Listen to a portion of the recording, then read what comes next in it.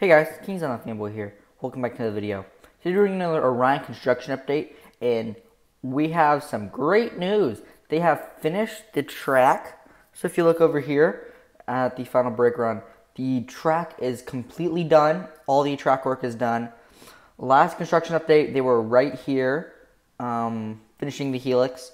But they finished the helix, and now it's come up into the final turn and hill up in the mid course, or not the mid course, the final brake run.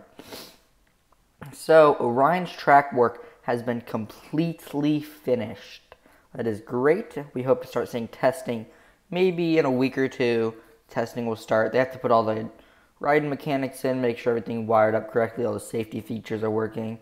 And the trains probably aren't on site at the moment, so they still have to get the trains on site and get them on the track ready to go. They'll probably be putting the trains on the track right here, and they'll be sitting there or in this building for a few days before they start testing on the ride. So they're definitely ahead schedule. They prob I don't think they were ready or they were expecting Orion's track to be done this quickly, but it is. Orion's track is done. That is great. If we look over by the station, looks like they've been painting a few more walls and stuff. Maybe, I'm not sure what this is right here. These triangles right here look like um, the canopies. So they might be canopies for um, the queue lines. So definitely the, they might be working on the queue line right now.